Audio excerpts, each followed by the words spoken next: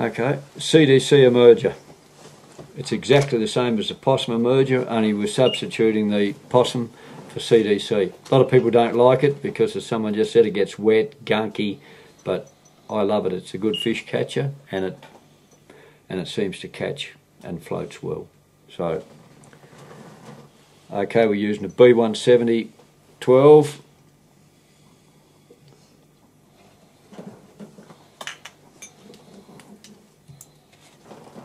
I only use one piece of CDC for the tail, stroke it all back.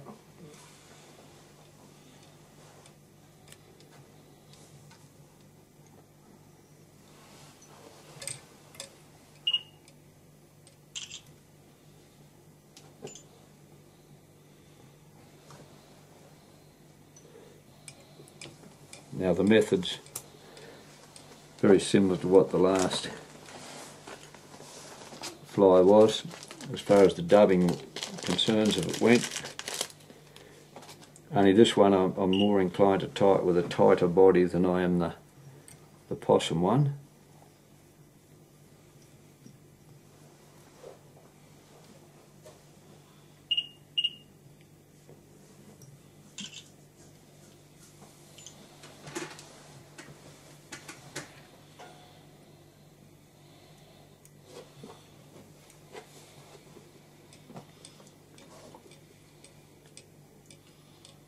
David, can I get you to move your hand, please?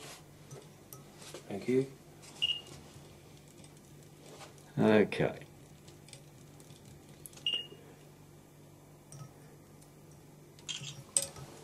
Right, Stu? Yep, you're right. Right, nice little, I don't put a big body on this one at all because usually the lighter coloured duns are a very small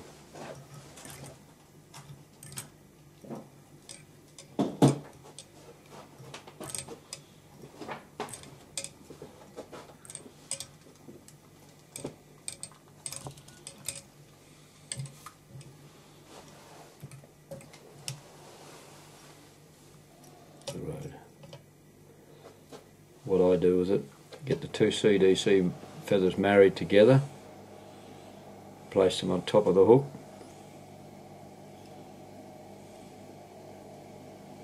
Not too tight.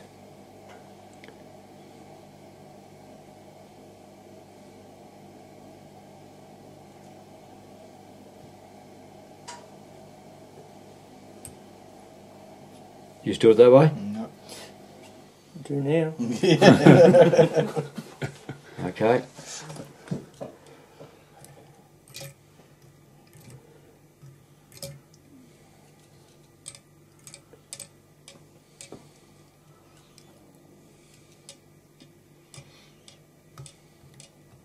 That just helps it to stand up by putting those couple of turns in the back edge of it there.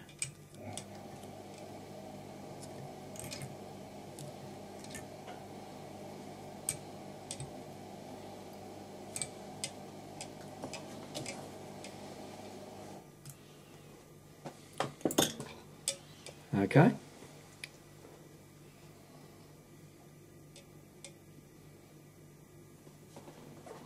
Happy? Yep.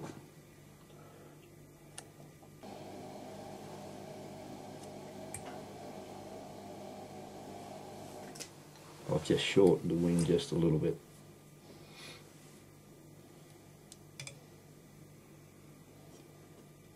There it is.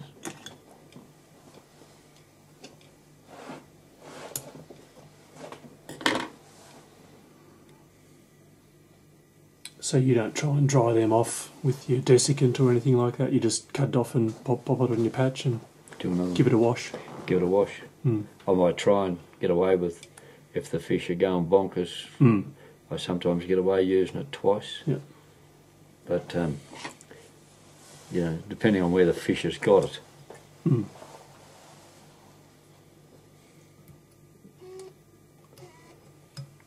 But you know, time after time you'll go there and you'll you'll particularly on penstock you'll find little light little light grey dun. Yeah. Next time, or well, even in the same day, next thing you know, the, the big brown boys are out. You know. Mm. Mm. Okay. So So would that be better in a 14, would it? No, I have just as much success with it uh, with the 12. I time in 12s and 14s, Yeah, but it's, the 12 is quite good. So look, yeah, the the duns are quite a reasonable size.